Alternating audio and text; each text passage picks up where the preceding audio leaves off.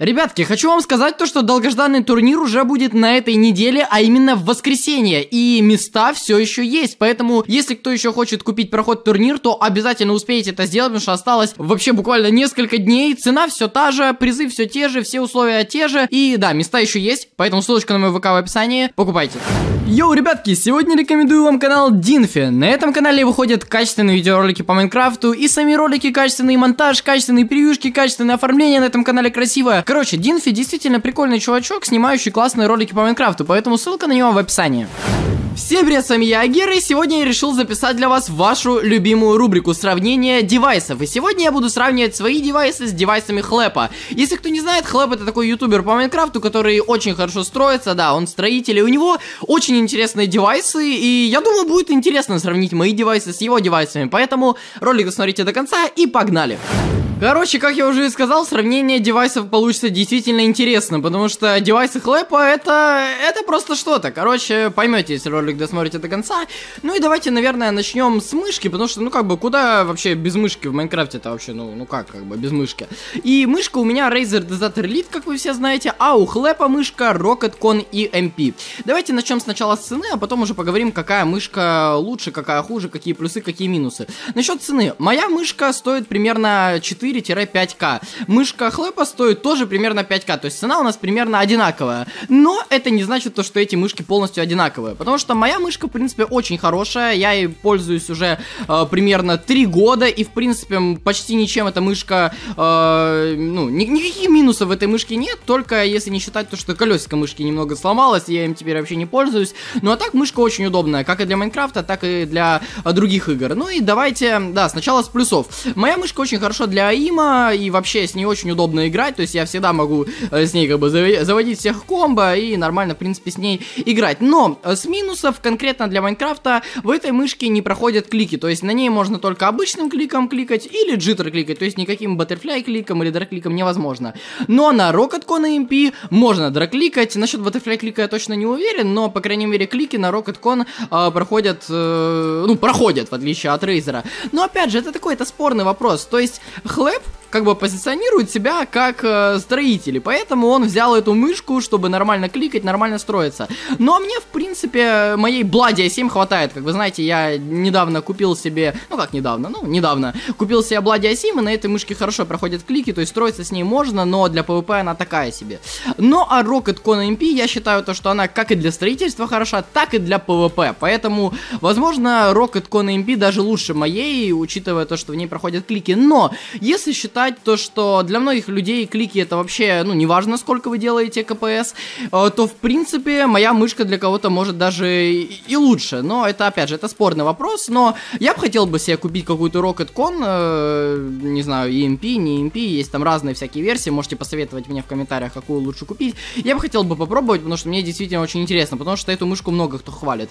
Ладно, короче, давайте приступим к следующему девайсу, это коврик, потому что, ну, все-таки, если у вас хорошая мышка, то коврик у вас тоже тоже должен присутствовать. Хоть какой-то, но должен присутствовать. И насчет коврика у Хлэпа тут уже начинается реально интересно.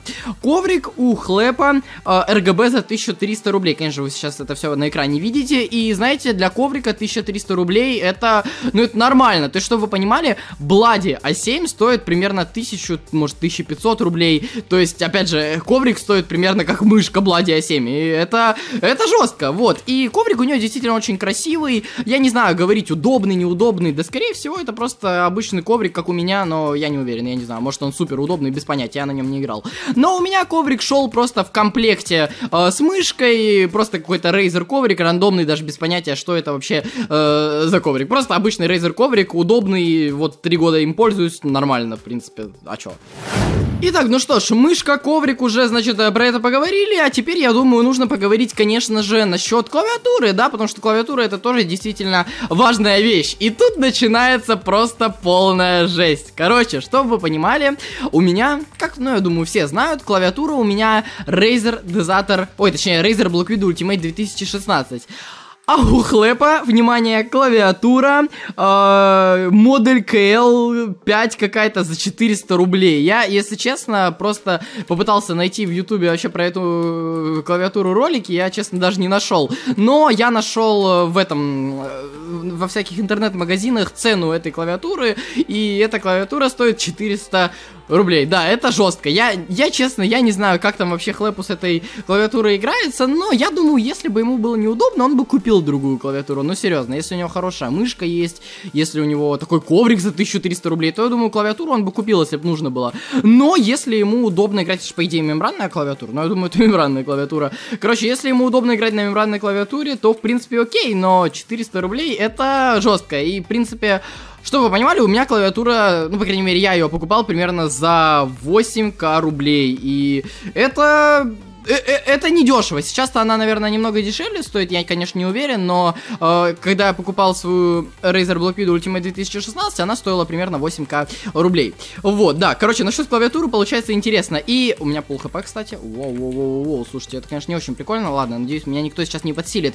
Следующий девайс... А, да, кстати, из плюсов, что я хочу сказать. Ну, как бы мембранная клавиатура, как вы знаете, очень тихая, поэтому, наверное, это огромный плюс. Но, в принципе, вот с моей клавиатурой получилось так, что когда я купил только мою клавиатуру Razer Blackwidow Ultimate 2016, первое время, первые несколько месяцев я просто кайфовал от звука, я просто вот слушал вот этот звук э, механической клавиатуры, я просто думал, о, как это круто. Потом мне этот звук очень надоел, и я хотел купить другую клавиатуру, а потом я просто к этому привык, и все, и сейчас меня, в принципе, все устраивает, вообще, в принципе, э, да, все как бы э, нормуль. Вот, ну что ж, давайте следующий девайс. Следующее тоже очень интересное, наушники. У меня наушники, как вы знаете, Razer Kraken, или про, или не про, я, я честно, я уже точно не помню. Но а, сейчас я вообще пользуюсь другими наушниками, потому что с теми Razer Кракенами, ну, я думаю, некоторые знают, что с ними произошло. Я не хочу сейчас даже про это говорить, но в любом случае сейчас я пользуюсь вообще какими-то дешевыми наушниками. Но давайте будем считать то, что я пользуюсь Razer Кракенами. Ну, а у Хлэпа наушники, вы сейчас просто офигеете. У Хлэпа вообще хз какие наушники, цена примерно 3000, у него просто какие-то наушники, он сказал то, что он их просто заказал вроде по инету какие-то дешевые наушники, да и все. Хотя, знаете, за 3К это не так уж, наверное, и дешево, хз, для каких-то просто нонейм наушников. Да, поэтому он, короче, не знает, какие это наушники, я тоже не знаю, какие это наушники, и это, это получается действительно интересно. Насчет цены моих наушников, э, мои наушники стоят примерно 5-6к. Я могу ошибаться, но примерно так, потому что я давно покупал, и сейчас, наверное, они стоят даже дешевле. Но насчет моих наушников, я помню то, что они были действительно качественные. Я бы хотел бы сейчас с ними э, играть, вообще, ну, с ними сидеть, но, к сожалению, к сожалению, да, к сожалению, не могу. Вот, и, кстати, перед тем, как я начну про следующие девайсы говорить, я также хочу у вас э, спросить кое-что насчет Кристалликса.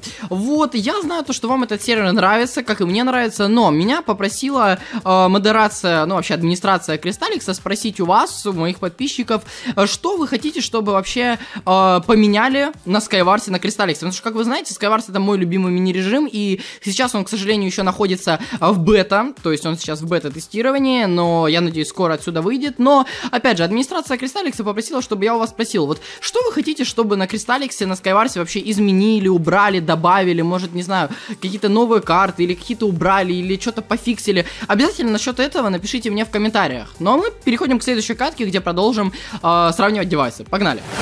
Ну что ж, насчет клавиатуры и наушников уяснили. У него, знаете, вот чисто клавиатура мембранная и наушники мембранные. Я к тому, что просто какие-то наушники дешевые, но в любом случае, если ему удобно, то что, ему запретить что ли могу? Ну типа, окей, если ему удобно, то пусть таких сидит, типа, окей, вот насчет клавиатуры то же самое. Окей, так, следующее у нас, следующее это у нас микрофон. Э, с микрофоном получается интересная история, потому что у меня микрофон Samsung C01 Pro, а у Хлэпа микрофон, угадайте, какой? Тоже Samsung C01 Pro. И также хочу сказать то, что раньше у меня еще был э, Samsung Go Mic, и Samsung C01 Pro э, микрофон намного лучше, чем Go Mic, вот серьезно, поэтому если у вас будет выбор между Samsung C01 Pro и Samsung Go Mic, берите обязательно Samsung C01 а, Бро. В принципе, да, микрофон очень качественный, конечно же, респект Хлэпу за то, что у него такой микрофон, потому что, опять же, микрофон очень э, хороший, хороший в нем звук и вообще классный микрофон. А, вот, и так, значит, насчет цены хочу сказать то, что цена точно не помню, но